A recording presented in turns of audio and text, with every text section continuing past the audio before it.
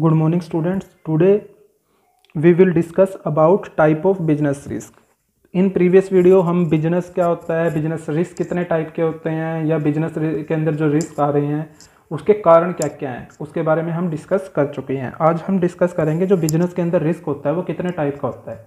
Business के अंदर जो रिस्क होता है, वो टू टाइप का होता है। एक तो होता है इंश्योरेबल रिस्क और दूसरा क्या होता है? Non insurable risk insurable risk क्या होता है? जैसे नाम से ही पता चल रहा है, जिसका इंश्योरेंस हो सके, वो क्या होता है? इंश्योरेबल रिस्क होता है। Risk which are covered losses for which company get compensation from insurance company हाँ भाई इंश्योरे इंश्योरेबल रिस्क क्या होता है? वो रिस्क होता है, जैसे कि कोई कंपनी इंश्योरेंस कंपनी है, उसने क्या किया कि भी जो रिस्क है हमारा, उसको इंश्योर कर दिया कि भी आप हर महीने या जो भी उनकी टर्म कंडीशंस होती है, उसके अकॉर्डिंग नॉमिनल प्रीमियम भरो और अगर ये रिस्क इसके इंश्योरेंस पॉलिसी के टाइम पीरियड के अंदर हो गया तो वो क्या करेंगे उसे कंपनशिएट कर देंगे।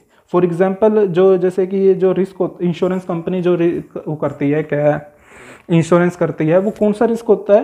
वो कौन से उसके ऊपर करती है? नेचुरल रिस्क आर इंश्योरेबल जो नेचुरल नेचर से जो रिस्क मिलते हैं, उन्हें क्या कर सक, करती है वो?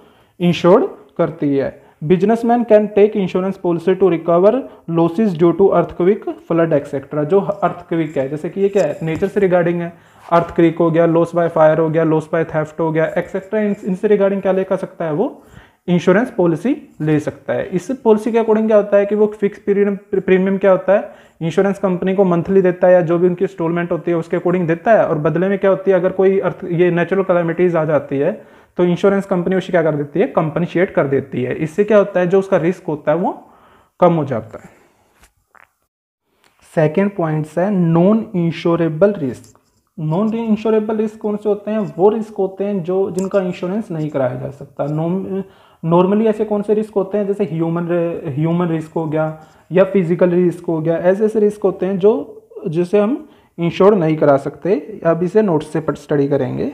Risk for which no protection is available वो रिस्क जिससे हमें प्रोटेक्शन अवेलेबल नहीं होती, उसे क्या कहते हैं? Non insurable risk generally economic risk and human risk are non insurable जो कौन कौन से रिस्क ऐसे होते हैं जिनसे नॉन इंश्योरेबल है? इकोनॉमिक रिस्क और ह्यूमन रिस्क और इन दोनों रिस्क को हमने प्रीवियस वीडियो के अंदर डीपली स्टडी किया था।